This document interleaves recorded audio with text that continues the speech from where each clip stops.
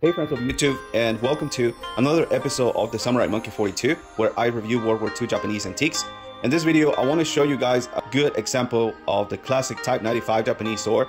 This is something that will help you guys for those who are looking forward to of uh, buying a Type 95 Japanese sword. I'm going to give you guys a few tips of what to look for when buying the this type of uh, Japanese NCO swords.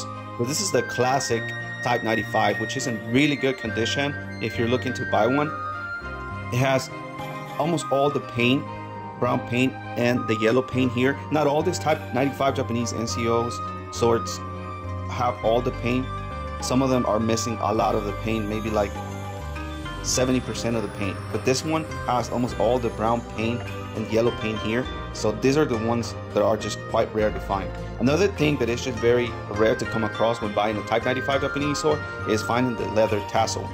Also, finding the buckle leather tassel like this one. And this is quite a long leather tassel also.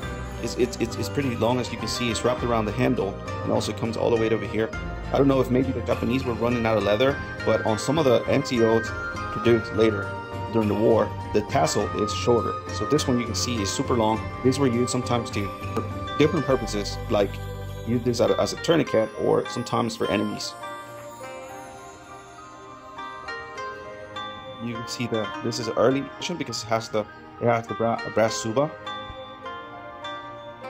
Some things you got you guys want to look for when buying a Type 95 is look at the paint. You see the discoloration here.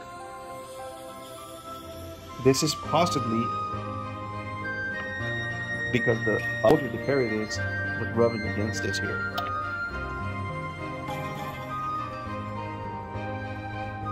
So that's the type of, of discoloration that you want to look for when buying the Type 95 NCO sword. This is how the tassel should look. There's a little bit of leather missing here over time. This is actually made out of pigskin. Okay, so let me let's open the sword now. I have the sword open now. This is quite a beautiful piece, a beautiful design by the Japanese on this Type 95 NCO sword. And this one the serial number is 131972. And it's in really good condition.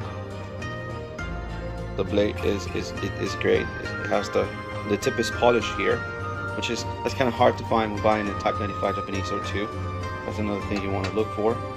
I mean, you want to have the blade presentable if you're adding it to your collection. And these are just becoming more scarce just kind of are becoming, even though they were massively produced, all of a sudden you just don't see them anymore. And you just don't see them in this type of condition. So, someone uh, just recently purchased uh, this one for me. So,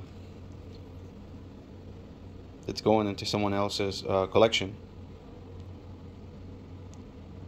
Alright, so uh, thank you so much for uh, watching this video, guys. Don't forget to subscribe so I can keep on making videos on Japanese antiques. Uh, thank you so much for watching.